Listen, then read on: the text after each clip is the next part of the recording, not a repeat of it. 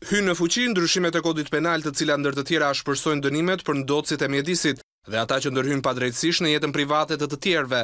Kështu vendosja e aparaturave që shërbejnë për dëgjim apo regjistrim të fjalëve ose të figurave, dëgjimi ose regjistrimi i fjalëve, fiksimi ose regjistrimi i figurave, si dhe ruajtja për publikim e të dhënave që ekspozojnë një aspekt të jetës private të personit, pa pëlqimin e tij, përbën kundravajtje penale dhe dënohet me gjobë ose me burgim deri në dy vjet. Shpërndarja, ofrimi për publikim apo publikimi me çdo mjet ose formë të komunikimit publik apo mënyrë tjetër i të dhënave të marra dënohet me burgim deri në tre vjet.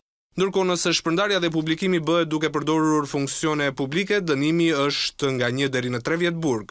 Për krimet mjedisore, si ndotja e ajrit, e tokës dhe ujërave, dënimet shkojnë deri në pesëmbëdhjetë vjet burg, kur kanë shkaktuar vdekje.